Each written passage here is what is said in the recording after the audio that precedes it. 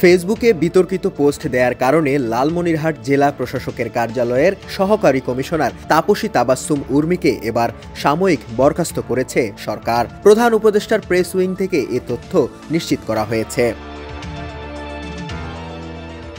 এর আগে তাকে ওএসডি করে বিশেষ ভারপ্রাপ্ত কর্মকর্তা হিসেবে প্রজ্ঞাপন জারি করে জনপ্রশাসন মন্ত্রণালয়। আজ প্রধান উপদেষ্টার প্রেস উইং থেকে পাঠানো বিবৃতিতে বলা হয় ওএসডি হওয়া কর্মকর্তা তাপস্বী তাবস্যম উর্মিকে বরখাস্ত করা হয়েছে এবং তার বিরুদ্ধে শাস্তিমূলক ব্যবস্থা নেওয়া হচ্ছে।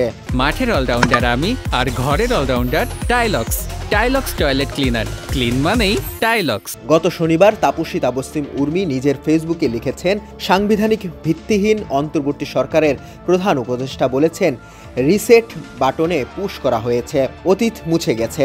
রিসেট বাটনে ক্লিক করে দেশের সব অতীত, ইতিহাস মুছে ফেলেছেন তিনি। এতই সহজ কাউন্টডাউন শুরু হয়ে গেছে আপনার মহাশয়। পরে স্ট্যাটাসের বিষয়ে উর্মি বলেন, অন্তর্বর্তী সরকারের প্রধান উপদেষ্টা ডক্টর মোহাম্মদ ইউনুসের এক বক্তব্যের জের ধরে তার এই প্রতিক্রিয়া। এছাড়া এর আগেও তাপস্বী তাবাসুম উর্মির ফেসবুকে দেখা যায়, ছাত্র জনতার অভ্যুত্থানে ক্ষমতাচ্যুত সরকারের পক্ষে অবস্থান নিয়ে বেশ কিছু স্ট্যাটাস লিখেছেন তিনি।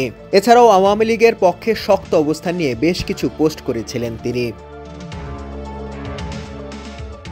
সরকারি এই কর্মকর্তার ফেসবুক পোস্ট সম্পর্কে জানাজানি হওয়ার পরে দেশজুড়ে উঠে সমালোচনার ঝড়।